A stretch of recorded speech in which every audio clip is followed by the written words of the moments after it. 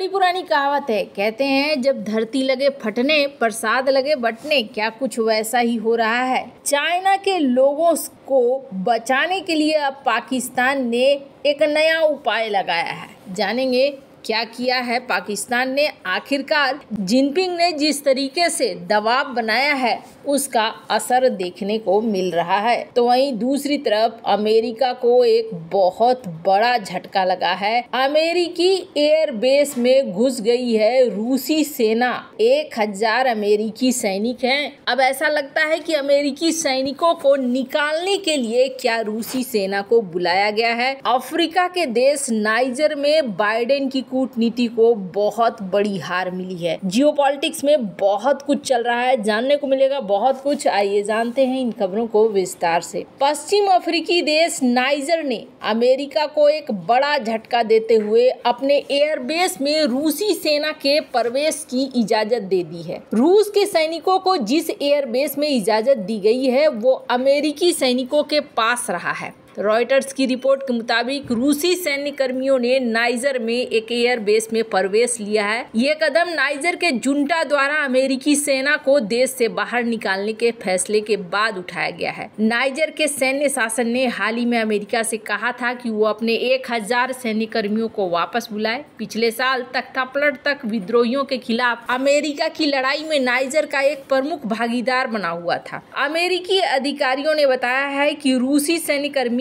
अमेरिकी सैनिक कर्मियों के साथ घुल मिल नहीं रहे हैं, लेकिन एयरबेस 101 पर एक अलग हैंगर का उपयोग कर रहे हैं। ये एयरबेस नाइजर की राजधानी नियामी में डियोरी हमानी इंटरनेशनल एयरपोर्ट के पास है। अमेरिका और उसके सहयोगियों को बीते कुछ समय में कई अफ्रीकी देशों से सेना वापस बुलाने के लिए मजबूर होना पड़ा है। नाइजर के अलावा अमेरिकी सैनिकों ने हाल ही में चार्ड को भी छोड़ दिया है। इसी तरीके से माली, बुर्किना फासो से लेकर लेकर कई जगहों पर फ्रांसीसी सेना को भी बाहर कर दिया गया है। अमेरिका ने 100 मिलियन डॉलर से अधिक की लागत से मध्य नाइजर में एयरबेस 201 का निर्माण किया था। 2018 से इसका इस्तेमाल सशस्त्र ड्रोन के साथ क्षेत्र में कट्टरपंथियों को निशाना बनाने के लिए किया जाता रहा है। इन गुटों में इस्लामिक स्टेट और अलकायदा से संबंध नुसरत अल इस्लाम वल मुस्लिमीन शामिल है। तख्ता पलट के बाद अमेरिका ने अपने सैनिकों को एयरबेस 101 से अगाडेज में एयरबेस 201 में ट्रांसफ़र कर दिया। बदलते हालात में अमेरिका को चिंता है कि साहिल क्षेत्र में अमेरिकी बलों की उपस्थिति न रहने से जिहादी गुट अपना ताकत बढ़ाएँगे।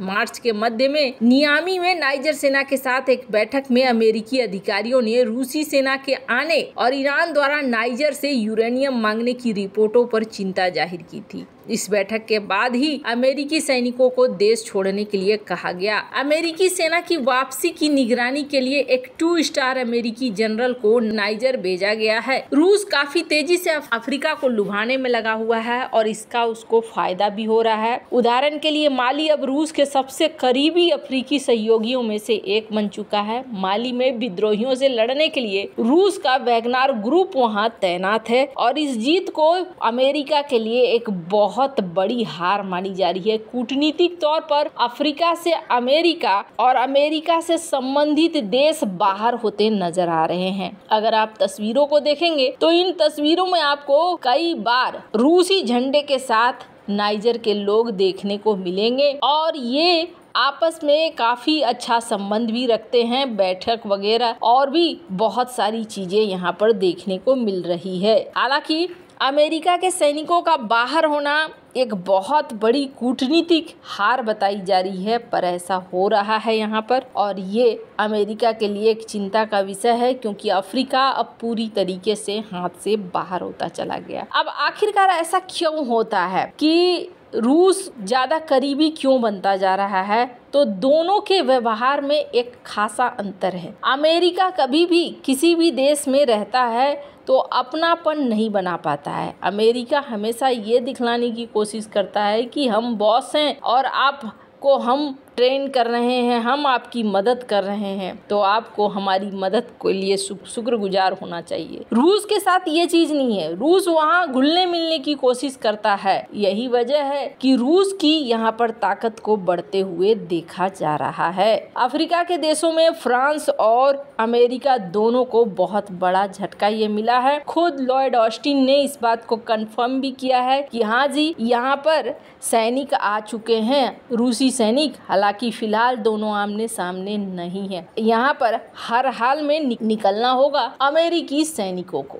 खैर, जहाँ एक तरफ़ ये सब कुछ हो रहा है तो वहीं अपना पड़ोसी पाकिस्तान इन दिनों बहुत घबराया हुआ है। क्यों घबराया हुआ है? क्योंकि सी जिनपिंग से मिलने जाना चाहते हैं शहबाज शरीफ। और सी जिनपिंग ने मिलने से पहले रख दी है शर्त और कहा है, जो पहले पेंडिंग इशू है, उन इशू का निपटारा करो, तब हमसे मिलने आना। और जब मिलने आओगे तो सीपेक को लेकर क्या प्लान है, वो भी मुझे बताना। तो यहाँ पर पाकिस्तान की सरकार के लिए सबसे बड़ा टेंशन खड़ा हो गया। पाकिस्तान में हर एक दिन दो दिन बाद कुछ न कुछ हमले, कुछ न कुछ दुर्घटना होती रहती है। अगर आपको यकीन नहीं है तो स्क्रीन पर देख सकते हैं, एक लैंड माइन ब्लास्ट हुआ है। और इस ब्लास्ट में कहा जा रहा है, एक लोग मारे गए हैं, बीस लोग घायल हुए हैं। कई जगहों पर यह भी रिपोर्ट कही जा रही है कि डबल लैंड माइन ब्लास्ट हुआ है। इस तरीके की चीज़ें अब आम हो गई है। ऐसे में वहाँ पर काम करना बहुत मुश्किलों भरा है, खास तौर पर चीनी नागरिकों के लिए। पिछली बार तो चीनी नागरिकों के ऊपर जो हमला हुआ, सो हुआ। उसके बाद जापानी नागरिकों के ऊपर भी हमला हो गया था। तब कुछ लोगों का ये भी मानना था कि जापानी लोगों के ऊपर जो हमला हुआ है, ये हमला चीनी सोच कर हो गया है। पर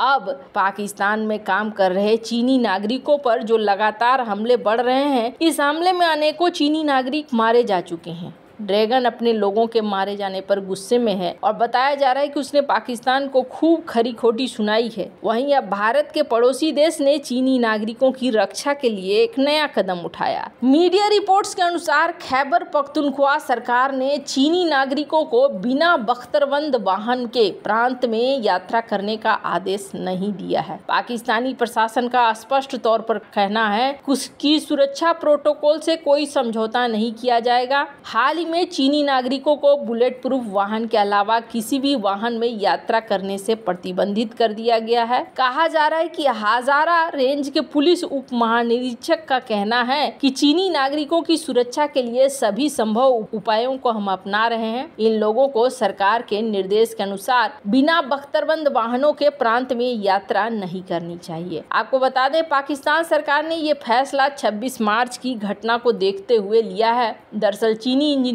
के एक काफिले को निशाना बनाया गया था, जो उत्तर पश्चिम में पाकिस्तान में एक बाँध परियोजना पर काम कर रहे थे। हमले में छह चीनी नागरिक मारे गए। मीडिया रिपोर्ट्स के मुताबिक खैबर पख्तुनख्वा के सांगला ज़िले के बेसम इलाके में चीनी नागरिकों को निशाना बनाया गया था। आत्मघाती हमलावरों ने विस्फोटकों, कई तरह की घटनाओं को देखते हुए ही अब पाकिस्तान की सरकार ने ये निर्णय लिया है। दरअसल पाकिस्तान की सरकार चाइना को ये दिखलाने की कोशिश कर रही है कि हम आपके पास जाने से पहले कई सारे कड़े उपाय करके जा रहे हैं तो आप हमारी बात सुनिए। खैर, अब आने वाले समय में पता चलेगा कि क्या होता है यहाँ पर। और कितना चाइना सहमत होता है पाकिस्तान से। वैसे आपको क्या लगता है इन सब मामले में आपकी क्या राय है? कमेंट कर ज़रूर बताएँ। जल्द मिलते हैं अगले वीडियो में नई खबर के साथ।